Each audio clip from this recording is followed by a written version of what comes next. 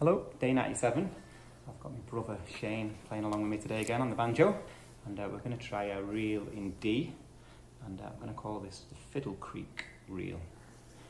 The title was suggested to me by a friend of mine in Kansas City, Ellen. I think it was uh, a farm or a camp she used to go to up there. So uh, try this, Fiddle Creek in D.